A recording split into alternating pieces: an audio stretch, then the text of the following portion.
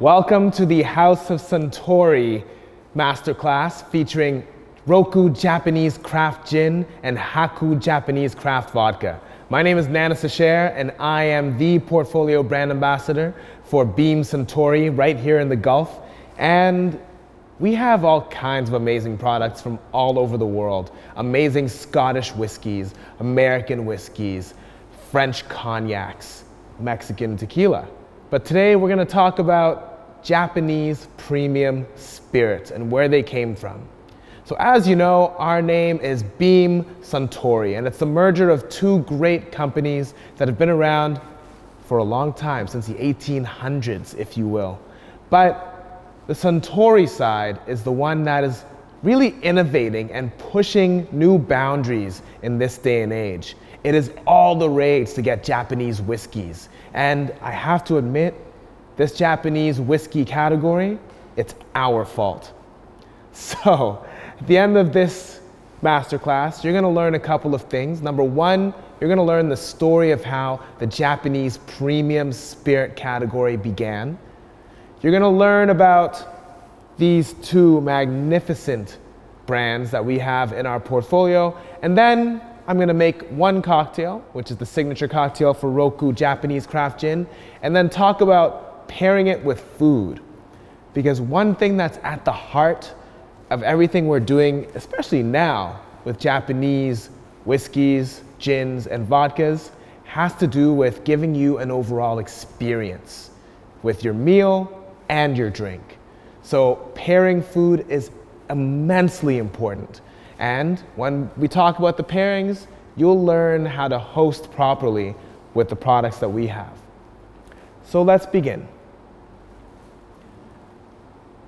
In 1899, there was a 20 year old named Shinjiro Torii who took off on a little journey out west. So you have to understand, in J- Japan at this time period, it was the period known as the Meiji era. And the Meiji era is a period of modernization and restoration. As you know, Japan is highly traditional. You know, they've got traditional cooking, they've got traditional tea ceremonies, traditional clothing, and they have a season that pretty much celebrates every aspect of life. But they were looking at what was happening out west, and they saw things like modern day cameras, cars, and all kinds of new technology that they wanted to bring over to Japan to enrich the lives of their people. So the best thing to do would be to send some of their youth out to the West to learn about this technology and bring it back so that, as we've seen today, they could enhance that technology and enrich the lives of the people that live in that beautiful country. So, young men like Shinjiro took off out west. They visited places like Europe. And Shinjiro took a very big interest in the Western wines and spirits. He heard the stories, he saw the techniques. He learned everything he possibly could. And he realized that if he brought this back to his people, their lives would be even better.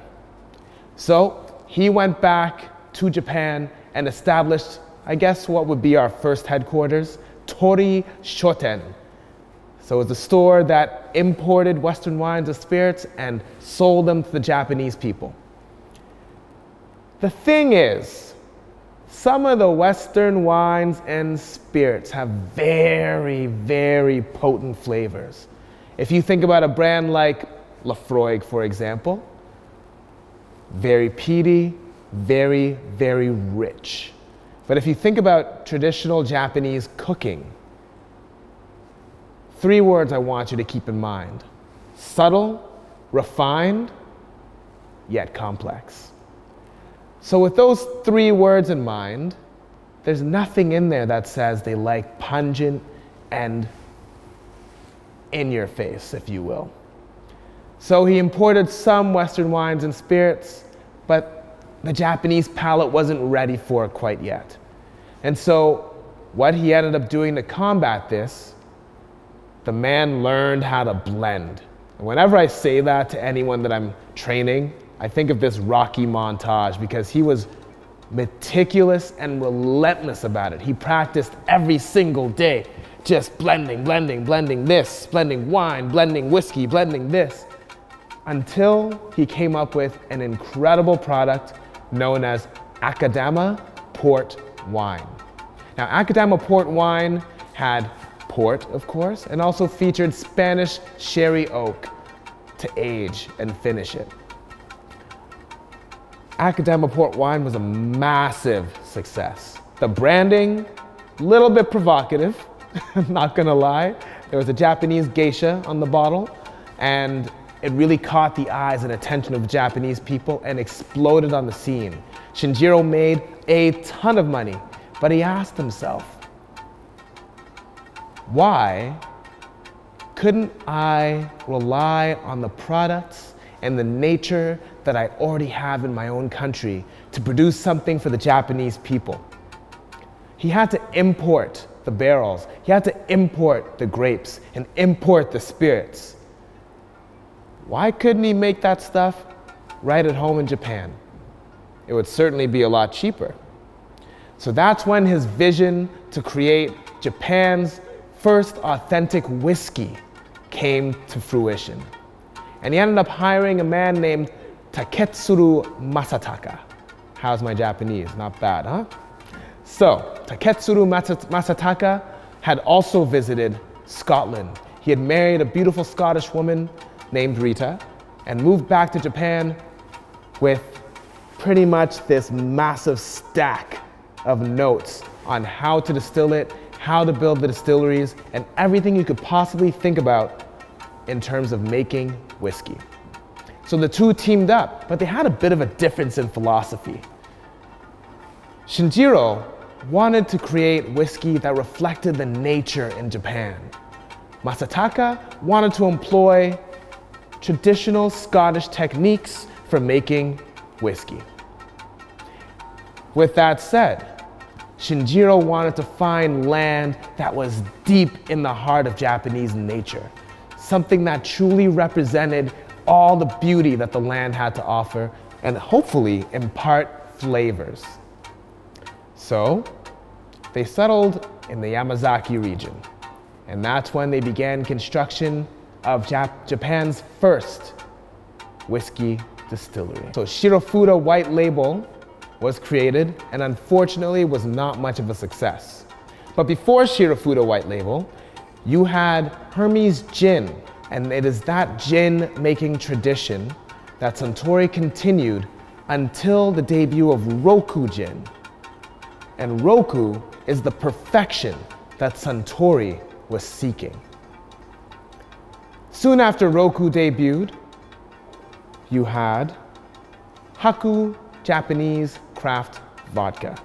And Haku is the labor of love between a few different distilleries that Suntory owns. In 1972, they established the Chita Distillery, which produces a grain whiskey and has four tall columns that produce various base types of whiskey that they use in every single Suntory blend.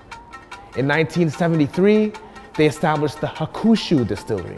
And the Hakushu Distillery sits 700 feet above sea level in the mountainous range known as the Hundred Famous Mountains. Now, hearing that, you can tell how important nature is to Suntory's overall plan when it comes down to any spirit they produce. When you taste a Japanese whiskey, you can taste the nature, you can smell the nature. And the same is true when it comes down to these brand new gins and vodkas. So let's get a little friendly with Roku Japanese craft gin. It's actually a bit of a wonder in terms of how they created it. Because as you know, gin is a juniper based spirit that is flavored with a grouping of botanicals and cut with distilled water. Typically, when you're making a gin, you're basically making a nice big neutral grain stew. You might have 10 botanicals, you might have 20.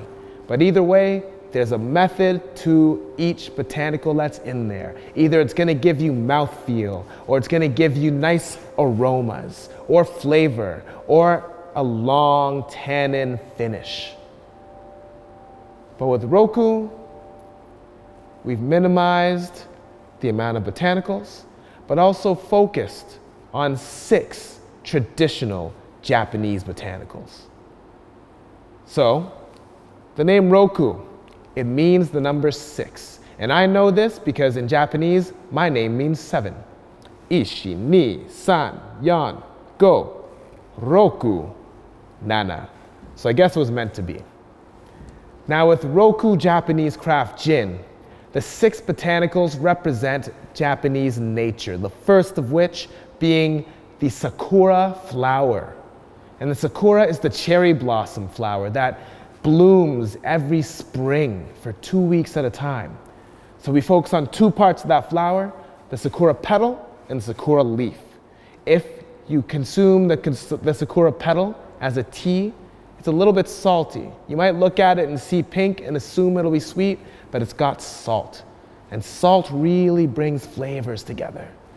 If you focus on the petal, anyone that remembers being a kid and eating the flower petals and eating the flower leaves will know that if you get the leaf of a flower, it's going to be a little bit bitter. Next up, you have two types of green tea. The first of which being sencha green tea. We've all had sencha green tea. We all know what that flavor profile is like. We know that tea provides a long lasting tannic finish. And we also have gyokuro green tea. Now, gyokuro is different in the sense that it grows in the shade. So if you're gonna make sencha green tea and gyokuro green tea, you need way more gyokuro in order to, in order to extract flavor. So right away, we're seeing four different botanical types that require different levels of attention, different steeping times, different boiling points. Keep all of this in mind. The final two we have Sansho pepper. So Sansho pepper is like a capsicum, but it leaves this numbing effect in the middle of your tongue when you eat it. It also has some, an element of citrus to it. And the final, final botanical that we all know about is yuzu. So yuzu exudes another level of citrus it's a combination of a lemon and a grapefruit in terms of how round that aroma is and just the type of finish you get on your tongue. And we see yuzu everywhere. We see it in cocktails, we see it in non alcoholic beverages, we see it in cooking. Yuzu is all over the place, so we should all be familiar with it. If you add all six into one neutral grain stew, this is the thing they all have their own different boiling points, and they're all going to either burn too early or not cook enough. So the balance is going to be off. So this is what we've done with Roku to counter that. To begin, each botanical is picked at the peak of its harvest. So that the botanical is number one, it's at its best. After that, using vacuum distillation, which means that you can distill each of these botanicals at a low boiling point. Each of them have their own different distillates that we then blend back together and distill with the gin. So we have eight traditional gin botanicals and then the six distillates of this peak gin. The term is referred to as shun, meaning everything in its right time, everything in its right place. Japanese cooking is highly seasonal, so we will not pick any of these botanicals outside of season. Once everything is blended together, comes in this beautiful bottle with a nice hexagon shape. And this is a bottle that I really, really appreciate seeing on my shelf because it makes my shelf and my house and my bar elevated. It elevates any display that you might have. So that is Roku Japanese Craft Gin. A fantastic blend that literally gives you every possible style of gin that you could be looking for on the shelves. Do you want a citrusy gin? Roku's got that. Do you want a floral gin? Roku also has that. Herbal, peppery. Roku combines every other gin type that you enjoy and you love pouring in your gin tonics, your Negronis, and your martinis, and rolls it up into one bottle with six sides. Pretty good innovation from Suntory, I'd say. The Japanese have done it again. Speaking of doing it again, they weren't finished. For a while, vodka was dominating the market. Since 1940, when some famous brands from Russia came down to America, vodka exploded on the scene post prohibition. People loved the fact that it was light, that it was smooth, that it was easy to drink. And they also didn't mind the fact that if you poured it in the soda, you wouldn't necessarily be able to tell that you were drinking vodka. Now enter Haku, Japanese craft vodka. And everything you could possibly want in a vodka is in this bottle, but there's more character. So, keeping in line with the theme of using Japanese nature and also thinking about food, Haku is rice vodka. So with vodkas, it's a neutral grain spirit. You can make vodka with wheat. You can make vodka with barley. You can make vodka with rye. Suntory chose rice. And they went to the best region in Japan to find the people that can make rice spirit the best and most delicious, which is the Osumi region in Japan. Now, Osumi is where you'll find the best sake and the best shochu. And sake, as we know, is a Japanese tradition for nearly 1,000 years. So the idea with haku was to take rice spirit, but then distill it into a vodka that has a nice subtle, round, and sweet complex. So haku begins its life with traditional sake means, and once that rice spirit has been created, they send it to two different distilleries. I mentioned the Osaka distillery that was, that was opened in 1919. Part of the rice spirit is sent to Osaka. Next, the other spirit is split off and sent to Chita distillery. So at Osaka, that's where the spirit undergoes vacuum distillation. Because as I mentioned, vacuum distillation is able to distill very delicate spirits at low temperatures. If you were to distill it in a regular fashion, you might have an overcooked grain, which will impart bitter notes, which will impart very burnt edges.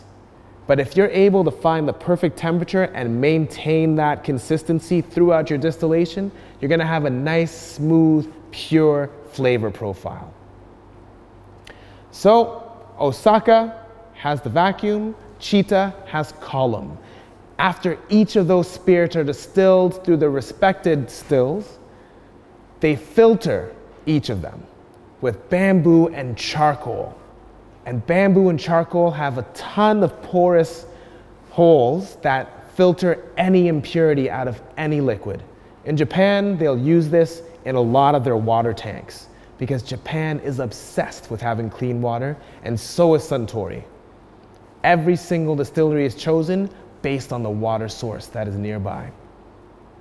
So after the filtration happens, just like that rocky training montage with Mr. Shinjiro Torii, they blend the two spirits together and then bottle it. So that's the story when it comes down to both of these brands. And the thing that I want you to take away the most is the simple fact that Suntory is innovating their spirits. Right now, the Japanese premium spirit market, there's a ton of demand for it. There's a ton of demand for the whiskeys and a ton of demand for the process that happens. So companies like Suntory that led the charge in creating this whole category want to create as much innovation and differentiation as they possibly can in order to not only do themselves justice, but do the entire world of spirits justice. So, what I'm going to do next is showcase Roku's signature cocktail, which is the Japanese gin and tonic, and then also talk about some pairings that you can do with both brands. I'll make a Haku Martini, which will showcase how delicate, smooth, round, and subtly sweet this vodka truly is.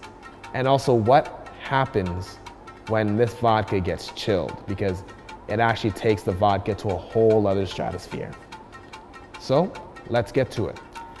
So, when it comes down to cocktails for Haku and Roku, because we're looking at two spirits that they basically have some really elite level production, they've produced a vodka that is very delicate and light, and a gin that's able to pair with so many different styles of cocktails and also cuisine. So let's talk about Haku vodka first, because I think when it comes to vodka, there are a few things that we might have to dispel about Haku. Right now, vodka is in a market that you find it at the clubs, bottle service. This is something that would go very well at bottle service. However, it's got an additional level of premium because it goes so well with beautiful light pairings of raw dishes. So when I say the raw dishes, I'm talking about sashimi, sushi. Of course, it's Japanese, so of course it'll pair well with it. But because the vodka itself has a nice body to it and a beautiful texture, you can also pair it with some other vegetables. You can get a little bit more creative. For myself, I think Haku with dessert, fantastic. So, let's make a Haku martini because I think you can have a martini for nearly any occasion. And there are people in the history of literature and fiction, like James Bond, who will definitely illustrate that martinis are for any day, any time of the week. So, you might notice here that you've got an extra chilled bottle of Haku. Something I want to note, I want you to note. When you have Haku on its own, you're gonna get the nice, subtly round, sweet flavor. But once you freeze it and you chill the vodka down, the aromas come out like you've never even thought. A lot of people just think that vodka has no smell and no taste, but this is an example that is further from that fiction. So, with the Haku Martini,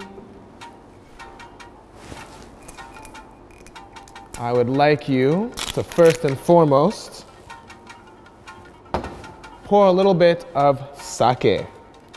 When I first became the portfolio ambassador, I went for my training, and the first drink they made me was a Haku Martini with sake. So, got that aspect. Next up, we're gonna pour the Haku vodka. And I'm gonna do a nice healthy portion, about 50 milliliters, because trust me, you could do 60 milliliters and it's still gonna be as smooth from start to finish as anything that you've ever imagined. It's like drinking a cloud. This is already chilled down quite a bit. So now it's important for me to add some ice.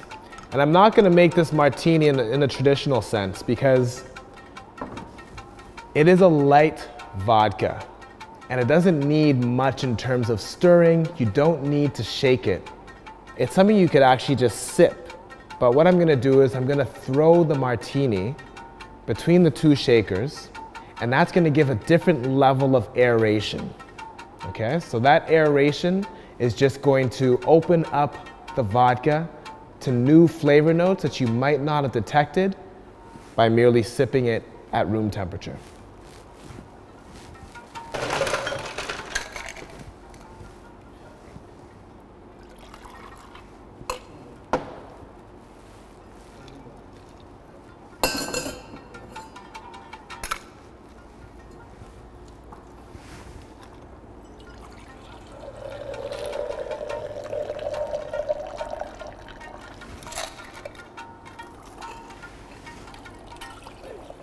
I'm doing this much slower than I normally would, only because I want to illustrate it to you. And I'm just gonna throw it three times.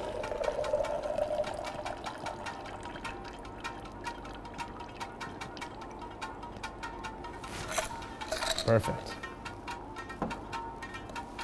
So now, I'm just gonna add it to this beautiful martini glass.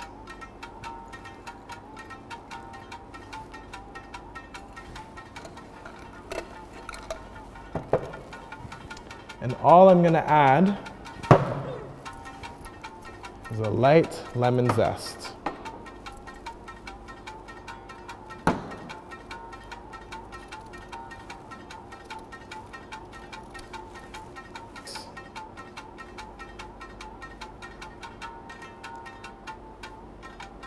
and drop. And there we have it. A nice Haku martini with a sake modifier. So next up, we have the Roku Gin Tonic, which is a Japanese gin and tonic. And what makes it distinctively Japanese is the fact that, yes, you have six traditional Japanese botanicals, but it also features ginger as the garnish. As you know with cooking, spice, salt, it really enhances the flavor profile of any dish that you're putting in there. And I know my mother, she likes to use ginger in a lot of different things. And trust me when I say this, my mother can cook. So the ginger in this Roku Gin and Tonic brings harmony to all six botanicals. And it also enhances whatever tonic you choose. But if you are gonna choose a tonic, I highly recommend going with one of the premium tonics because they take a lot more dedication and care to their production. That I think Roku deserves. Because if Roku is gonna put that much care and dedication to their production, any other ingredient you include should also be the same. That means high quality fruit, high quality tonics, high quality mixers. Got it? Got it. All right. So now I'm gonna do this the Japanese way. I'm gonna add some ice, first and foremost.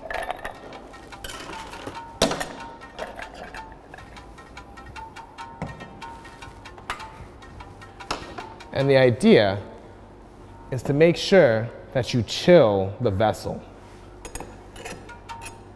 We've got a nice, beautiful Roku Copa glass.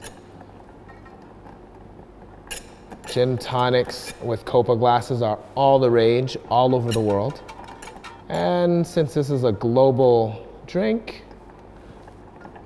we decided to give it the exact same treatment. So once you see that nice frost on the glass, then you know you're in good shape. Make sure you strain any excess water out of there. First and foremost, we're gonna add six ginger matchsticks. And you cut it into long slithers.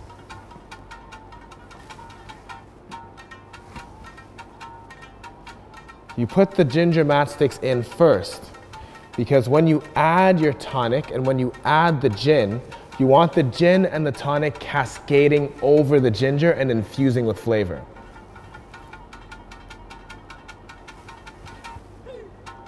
Excellent. Now, you want to add your premium tonic in first. And when you add that tonic in, you're looking for the gaps. You don't want to pour that tonic over the ice because it'll dilute the tonic first. All right, so there goes a bottle of nice premium tonic. And then, if you're serving it to a guest, you want to pour the Roku gin into one of these sake cups on the side and let the guest have the pleasure of serving, of pouring the Roku into the cocktail.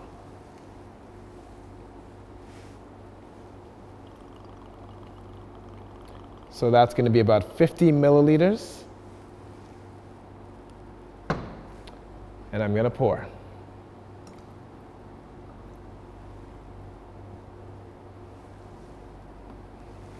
So once that's poured, you want to blend everything together. So give the Roku gin a nice light stir.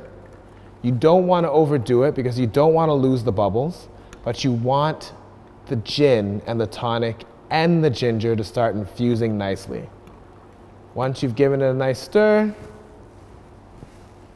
you're ready to serve.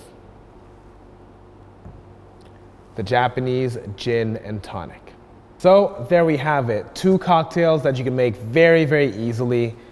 The Haku Vodka Martini can express that vodka, but make sure you don't over stir. I can't stress that enough. It is a delicate vodka. You might even be better off just letting the vodka freeze and then pouring it into the glass. That's gonna be a nice aftertaste, a nice mouth feel for any food that you pair with it, or if you just wanna enjoy sipping the vodka. It's a vodka you can sip. Imagine that. And then you also have the Japanese gin and tonic.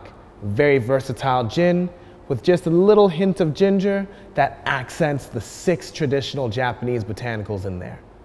So, now that I've made those cocktails, it is time for me to sign off. But if you have any more questions about the House of Suntory, any of our gins, vodkas, whiskeys, don't hesitate to add Beam Suntory DXB at Facebook and also on Instagram.